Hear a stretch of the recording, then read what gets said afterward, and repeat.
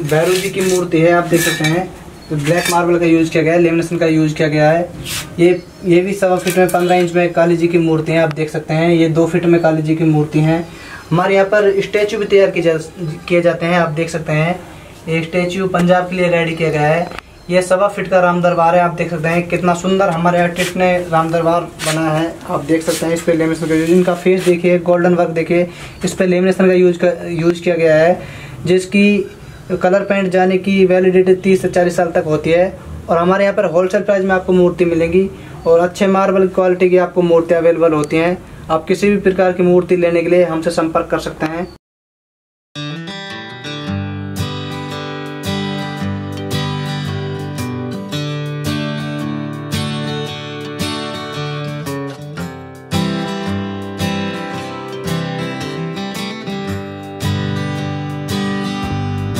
स्वागत है आपका रितिका मार्बल मूर्ति आर्ट में। आज हम आपको दिखाएँगे मार्बल से मूर्तियाँ किस प्रकार तैयार की जाती हैं और किस प्रकार मूर्तियाँ बनाई जाती हैं और पेंटिंग किस प्रकार की जाती है। और हमारे यहाँ पे ऑर्डर पर भी मूर्तियाँ बनाई जाती हैं और आपको होलसेल प्राइस में हमारे पास मूर्तियाँ अवेलेबल होती हैं। हम आपको दिखाएँगे मार्बल से बनी हुई मूर्ति पंचमुखी हनुमान जी की मूर्ति। आप दे, आप देख सकते हैं मूर्तियाँ और काली माँ की मूर्ति आप देख सकते हैं। हमारे यहाँ सभी प्रकार ब्लैक मार्बल में, व्हाइट मार्बल में मूर्तियाँ तैयार की जाती है। आप किसी भी प्रकार के मार्बल हमसे मूर्तियाँ ऑर्डर पर तैयार करवा सकते हो। हम मूर्तियाँ ऑल इंडिया डिलीवरी करते हैं। आप घर बैठे हमसे ऑर्डर करके मूर्तियाँ मंगवा सकते हो। आप हमसे छोटी से छोटी, बड़ी से बड़ी मूर्ति तैयार करवा सकते हो। आप नौ इंच से लेके आठ इंच की मूर्ति, सात इंच की मूर्ति, आप कितना भी बड़ा साइज़ में हमसे मूर्ति तैयार कर सकते हो। हमारे पास ब्लैक मार्बल में वाइट मार्बल में, मकराना मार्बल में और राजनगर मार्बल में, अंबाजी मार्बल में सभी प्रकार की मूर्तियाँ तैयार की जाती हैं। आप देख सकते हैं मूर्ति पर कितनी शाइनिंग आई है। मूर्ति पर लेमिनेशन का यूज़ भी किया गया है और उस पर गोल्डन वर्क का भी यूज़ किया गया है। आप देख सकते हैं कितनी सुंदर मूर्ति हमारे आर्टिस्ट द्वारा तैयार की गई है। आप मूर्ति का फेस देख सकते हैं। कितनी यह सवा दो फीट का पंचमुखी हनुमान जी महाराज आप देख सकते हैं।